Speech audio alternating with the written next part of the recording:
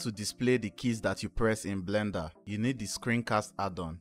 To enable it, you go to Edit, Preferences, and then Get Extensions.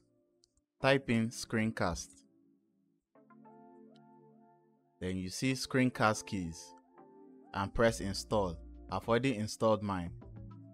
Then go to Add-ons and search for Screencast and enable it. When you are done, press N to bring out your side panel. Select screencast keys and toggle it on.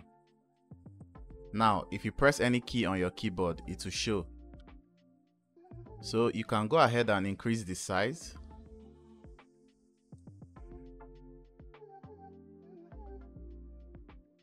Also the mouse size. And then we can place this at the middle of the screen by selecting align to center.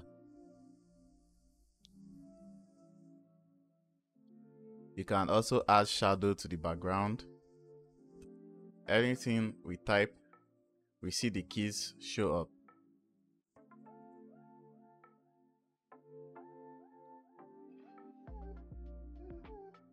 Alright, it's that easy. So I hope you found this helpful.